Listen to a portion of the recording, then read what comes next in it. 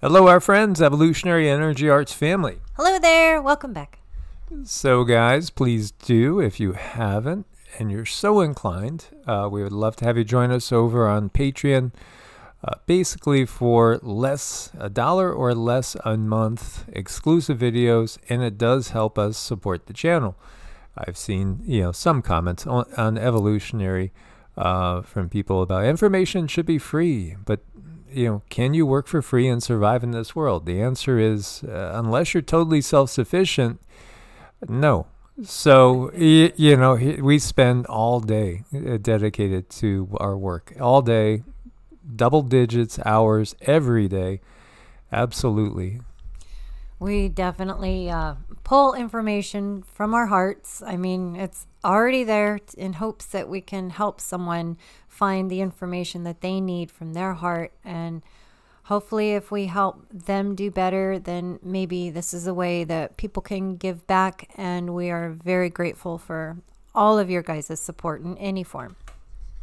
Yeah, absolutely. As it does push back against the system because you know, if the system didn't demonetize issues and, and subjects that they don't want being covered, oh, yeah, we, we wouldn't be doing it. we wouldn't be doing the Patreon uh, in a uh, pay platform, but the fact that it is, uh, it, it forces us to adjust. And, and we're thankful that there's so many people that understand there should be an energy exchange. And Again, the money system will go away at some point in time. That'll be a blessing. But for now, we, we thank you guys for your support. We did this video a while ago, um, and it is it, it's one of my favorites in some ways. About a year ago here, I think it was a little bit more than that. They tend to round things off. The dark power structure, Anunnaki Draco Jinn, how they feed on humanity, thought forms.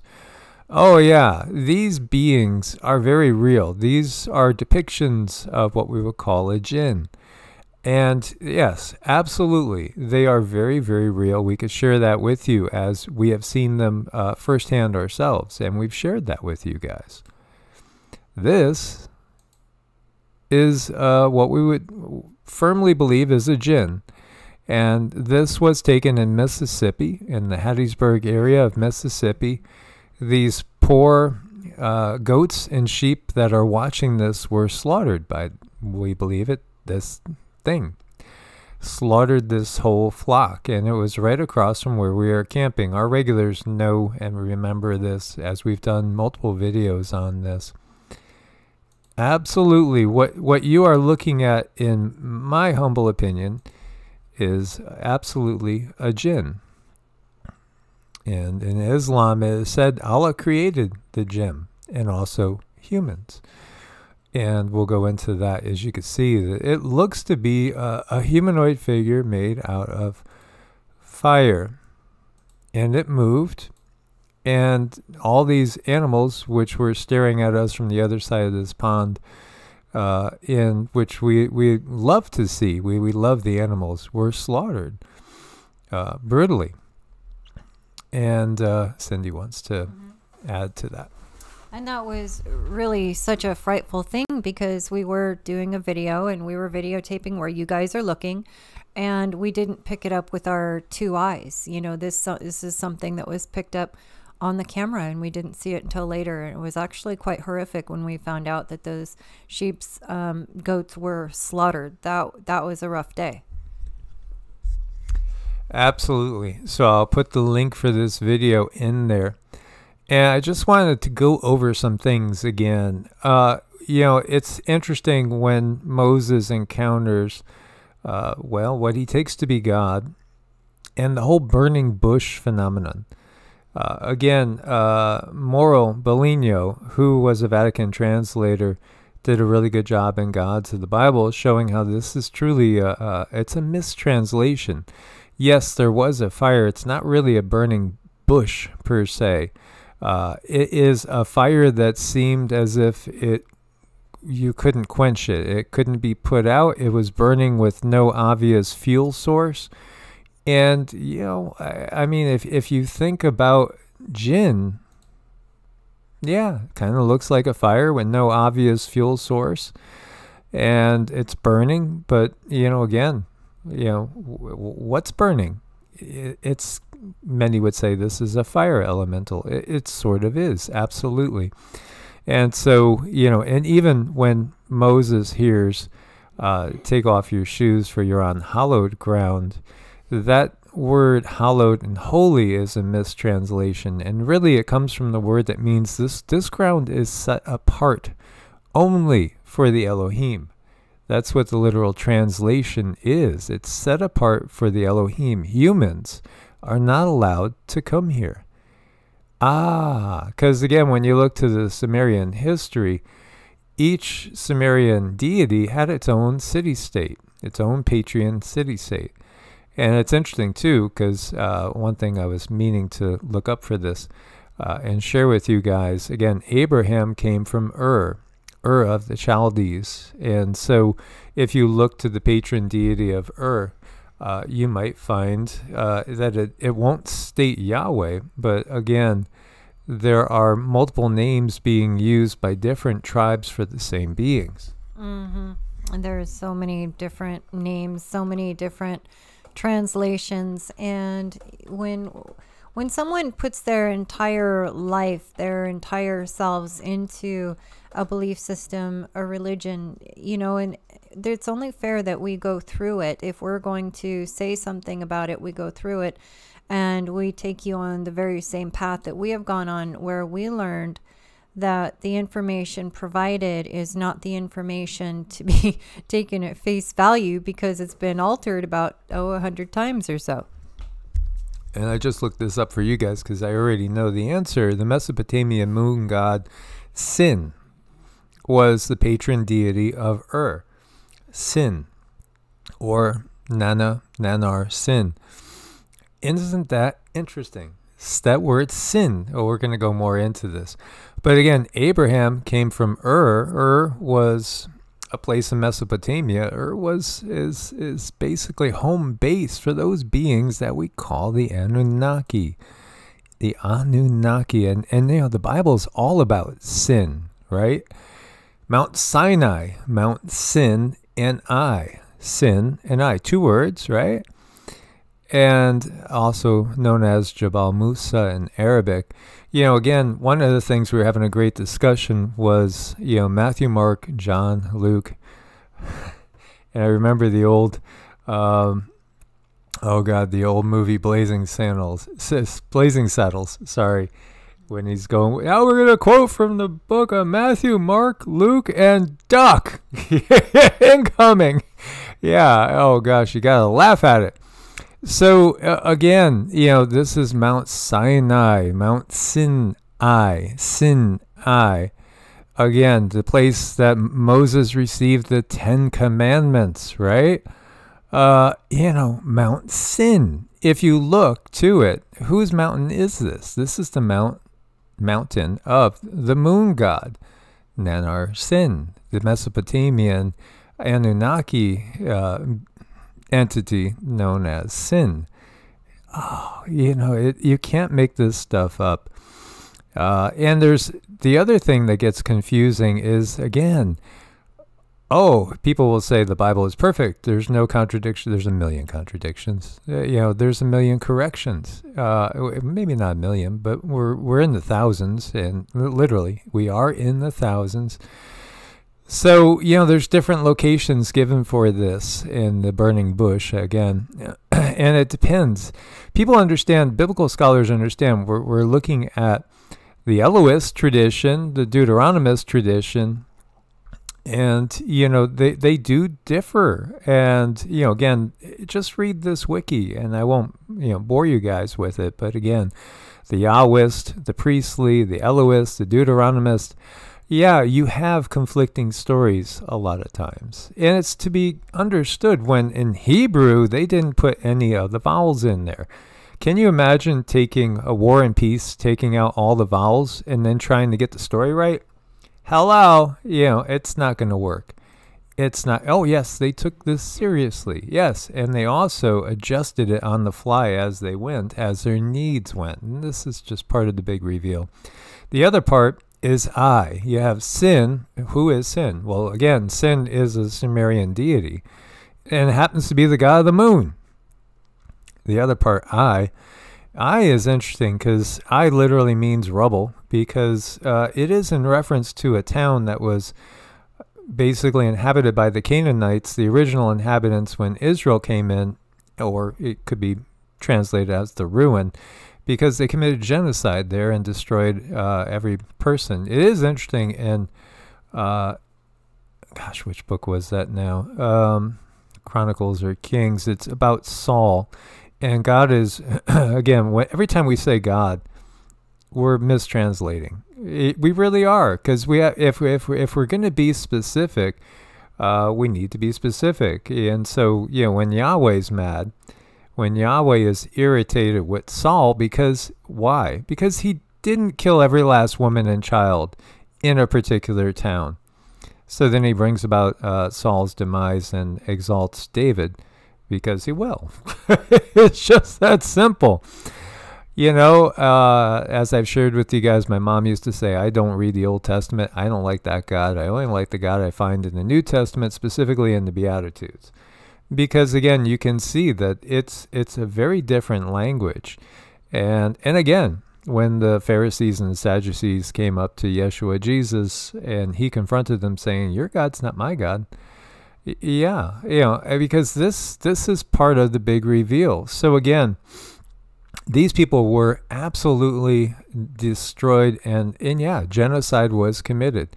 And you know where is this area? It's the same area we're having all this stuff going on right now. You know, it, it's again, it's the modern Beitin in the West Bank, the West Bank and Gaza, which are getting bombed as we speak. It never stops. Sin, Sumerian, you know, Mesopotamian. Sin is, is is the god of the moon, and so you know that is interesting, is it not? It's the moon. It has been, and some have said, oh, the moon's not really the sign of Islam, but why do we see crescent moons everywhere in Islamic mosques? How many crescent moons have you seen depicted as the sign of Islam? It's everywhere. And again, so, you know, does that mean that Allah and really Yahweh are, are on the same team? Are they even the same sort of being? Is this really uh, a continuation and and all? And, and this really hit me too because I was thinking about the ring of the fire. Ring of fire. Look at this, and look at the crescent moon. Yeah, the crescent moon. You know, again, the re- reflecting the light of the sun and all. But it's about the moon. What does the moon do in an eclipse? It blocks out the light of sun. The sun is light from source, the real God, the real God with the big G which can't be named because anytime you go and name something, uh, uh, well, again, I would strongly recommend uh, people reading the Tao Te Ching. It, it's a real work of, of wisdom, and there's so much in there to give understanding. Or, you know, again, read into uh, some explorations in consciousness, like the Yoga Sutras. That's real spirituality. It, it really is. It's not fear based. You better do, or you're going to be punished, young man or young lady. Mm-hmm. You know, there's also a very beautiful, peaceful, simple book called The Four Agreements. If you're really wanting to study and understand and soak in some wisdom, this is something that I think is very, very helpful for anyone and everyone. And and it's it it doesn't um, dismiss anyone. It, it's like these uh, other reading materials that we mentioned. They are not uninviting anyone. They are inviting everyone to uh, come and absorb some of the consciousness, some of the wisdom, some of the peace that this life has to offer. But I, I am a little curious. I, I'm not sure. I haven't studied uh, Islam and I don't know what the mainstream says about the crescent. What what does mainstream Islam say that crescent's for? I think again you're going to find different answers depending on who you're talking to. Again, there's Sunni and Shia, and there's uh, other smaller sects as well, and, and, it depends on on who you're asking. Uh, there's all these different levels of depths of scholarship, and we were discussing today, like if all you ever watched uh, and all you ever did was like listen to people uh, like Charles Stanley, Chuck Swindoll, Hal Lindsey. Um, I don't even know who's out there now, but you know, all these mainstream preachers, you're not really doing uh, a, a deep, in-depth study. You're just getting what the salespeople are going to want to give you. You know, because again, televangelism is huge money, huge money you, you got to go in de- in depth and really look into you know how these things were constructed and how they came about. So, the word Islam means surrender, specifically surrender to the will of the one God called Allah in Arabic. And so, you know, it looks at itself as the culmination of Judaism, Christianity, and then it is the culmination. So, you know, this literally means submit to uh, the will of Allah, which again is given to one from Muhammad. And again, you're going on secondhand uh, evidence of that too. You know, who is Muhammad? Have you actually met him? No, you haven't. You, it, it's a faith. Don't you got to take it on faith? Okay, but how well do you really trust everything that's written, especially when you go in in depth and you start to understand how these things were put together. Allah, Arabic name for the Supreme Being, as you see here, 1702, Al Ha from Arabic Allah, contraction of Ah Ilah, literally the God, from the Al, now Al and El, again, Ilah, Hebrew Eloah, again, comes from El- Elohim. This is coming from the same root this is coming from the same root. So what are you really saying? And this is a really uh, a, a, pretty well done uh, deep dive into where does it come from again. It's the linguistics of it. And, uh, you know, this is John Andrew Morrow. It's, it's a contraction. And, and again, it comes down to understanding how the linguistics were put together as we've said before, you know, somebody in, say, Los Angeles is going to say things differently than somebody in Ireland or Scotland. Even though they're speaking English, they're going to say it in a different way. And yeah, and sometimes we, we will not understand each other. So we got to go down into the roots. We have to go into the roots and, and to understand where they come. And, you know, here, Aleph, Lam, He and what it is coming from is the same and as we you have seen um, you've seen contractions. You understand contractions how how words get contracted and all. Baal baal baal. And and again that's also um, how it's used linguistically with al as, as opposed to the english el but really what we're going from and understanding uh, again what we have today as far as the language of, of English. If we were listening to somebody that was writing, and we did this back in, in grade school, uh, remember Canterbury Tales? Remember Chaucer? Uh, you can't understand what the heck they're saying, you know. And, and if you go back 500 years ago and listen to somebody speaking English in London, we probably would only be picking up little bits and pieces. We'd be wondering, what are they talking about? But this isn't that hard to understand because, you know, again, this is a contraction, but we're talking about the same words. So there are obvious linguistic and etymological connections between the respective words for God and these closely related Semitic languages. For example, Allah, Allah, and Elo being related to Ilah, Il, and El. Remember El and Elohim, again from the Bible, and then you have Yahweh. El and Elohim, El the singular, just kind of a generic God, Elohim, the gods, the mighty ones, the powerful ones. He concludes that the Semitic names for God, Allah and Elohim, they're exactly the same. So again, you're using the same term. There's there's no difference. And originally this is used in the plural.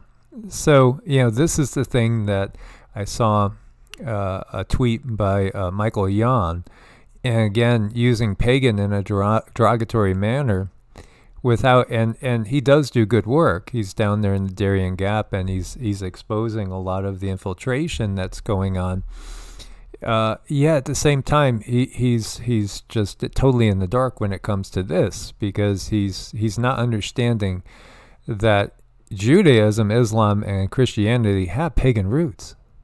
It's just what the uh, what the scribes have done, what the more modern day authors have done to obscure those pagan roots and take these individual beings, jumble them up into one amalgamation, and thus all you get is Lord and God instead of distinctions between multiple different beings. Well, when I when now when I look at any biblical texts or something like this, and I see the word Lord or God, it's just automatically it translates in my head now like which alien deity are you going to assign a name to because there's so many. There's so many alien deities and all of this is written with the idea that you know whoever it's talking about is the chosen people. But with our discussion with a very beautiful family member today, she reminded me of the question that, you know, I, I wish I could ask. But I, you know, I don't like to rock the boat, but this is a legitimate question. When we have a certain belief system and they label it, you know, whether it be um, just Christian or whatever, how come that one religion thinks that they are the absolute best? And you go to the next one and they say they're the best and then, then they're the best and the only one and the only right and the only true one. And i started asking myself this when i was in this little bitty town. I'm not you know i don't know five or six hundred people and there's like five churches and each church with a different label claiming that theirs is the only truth so you just i mean you can't help but start asking questions Absolutely. You know, so this is what we what we have here. It's a distortion. And so, you know, again, uh, Muhammad received his um, vision, supposedly, or his conversation with what's taken to be the archangel Gabriel over here at, at Jabal al Nur. And, you know, this is a mountain and cave in, in, in Sinai. Uh, and Surah surah. You know, when you look at the chapters, there are 114 surahs in the Quran, and surah means chapter. But immediately I hear this surah, surah. It gets me thinking of devas versus the asuras. I mean, because phonetically it sounds like that surah, asura. Well, you know, who are the asuras? The asuras are demons. Somebody said, somebody gave us the comment oh, the original sin is when man started worshiping Lucifer and Satan.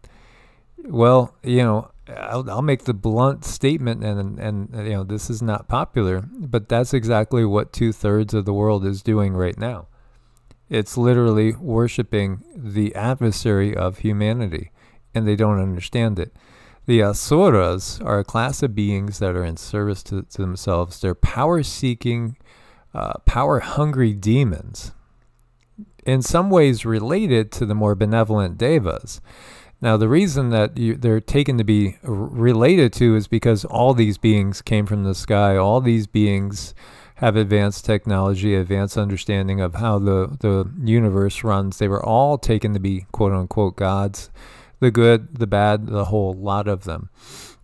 But there were those that came and taught us uh, how to get along peacefully, uh, taught us how the universe works, and there were those that taught us worship us, do what we say, uh, or you'll be punished, and did punish humanity.